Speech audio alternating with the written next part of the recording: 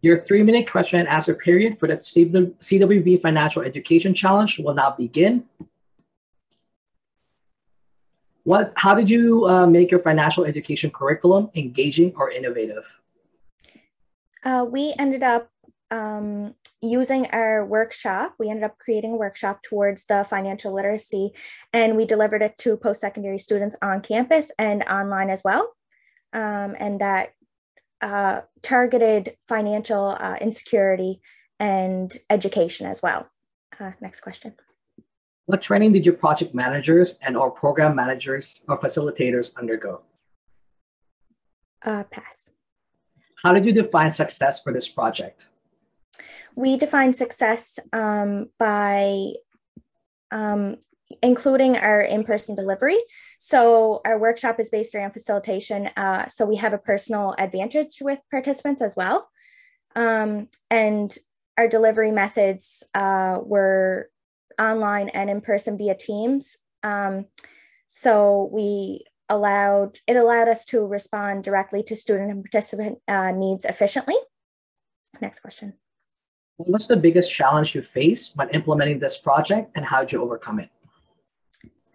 Um, so our biggest, uh, it would have to be, as a group, uh, we could do much better with attracting more diverse programs into our projects, uh, which would give us a wide range of ideas and a different perspective towards uh, new projects as well.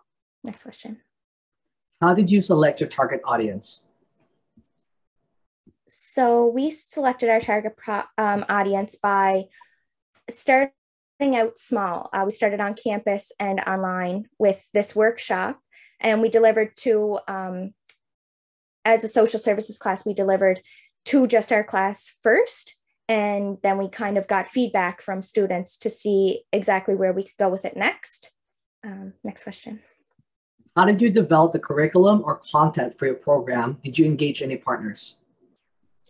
We um, developed our program within our, our program in general. Um, so it would have been during the social services program, we had a group facilitation class, and that is where it developed. And we um, we didn't we had funding. Um, we had a few funding um, offers, and we also did grant writing as well. So that kind of gave us a wide range of ideas and um, grants that we applied for.